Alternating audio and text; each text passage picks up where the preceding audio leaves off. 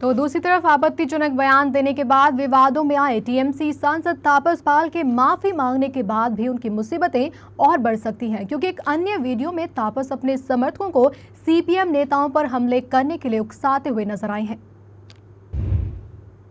विरोधियों को जान से मारने की धमकी देने वाले टीएमसी सांसद तापस पाल ने भले ही अपने बयान पर माफ़ी मांग ली हो, लेकिन उनकी मुश्किलें खत्म होने का नाम नहीं ले रही। अब तापस का एक और विवादित वीडियो सामने आया है, जिसमें वे अपने समर्थकों को सीपीएम नेताओं पर हमला करने और जान से मारने के लिए उकसा रहे हैं। साथ ही वे कह रहे हैं कि आरोपियों को फांसी की सजा दिलाने की कोशिश करेंगे और अगर उन्हें फांसी की सजा नहीं हो पाती है तो वे खुद उन्हें सबके सामने गोली मार देंगे।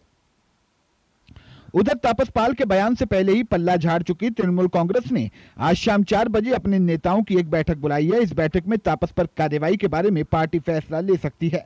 इससे पहले टीएमसी प्रमुख और पश्चिम बंगाल की मुख्यमंत्री ममता बनर्जी ने तापस पाल को फटकार लगाते हुए उन्हें सार्वजनिक रूप से माफ़ी मांगने की सलाह दी थी।